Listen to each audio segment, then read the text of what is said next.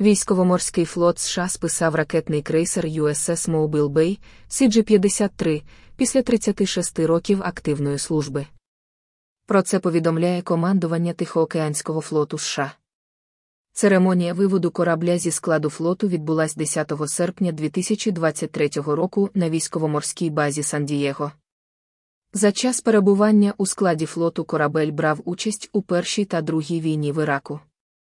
Для мене було честю бути останнім командним офіцером Моубіл Бей.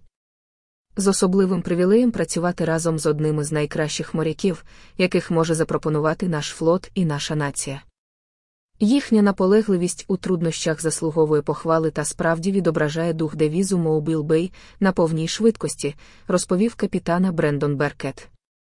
Корабель побудувала компанія Ingalls Shipbuilding у Паскагулі в штаті Місісіпі. Він введений в експлуатацію 21 лютого 1987 року. Корабель назвали на честь битви у бухті Мобіл, що відбулася в 1864 році між флотом Союзу та Конфедерації.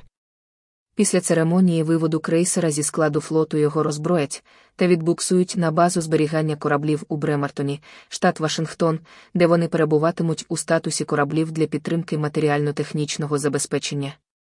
Як повідомляв Кмілітарний раніше, уперше корабель військово-морських сил США вели в експлуатацію за межами Сполучених Штатів. Церемонія пройшла на східній базі військово-морських сил Австралії у Сіднеї. Корабель прибережної зони класу Індепенденс отримав назву Кенбера, перейнявши її у австралійського важкого крейсера, що загинув у бою біля острову Саво у 1942 році. Це другий корабель флоту Сполучених Штатів, який отримав таку назву. Першим корабелем був важкий крейсер типу Балтимор, що служив з 1943 по 1970 рік і пішов на лом у 1980 році. На церемонії ведення в експлуатацію були присутні високопосадовці з США і Австралії. Серед них були заступник прем'єр-міністра Австралії, командувач військово-морських сил Австралії, начальник військово-морських операцій США, міністр військово-морських сил США та інші.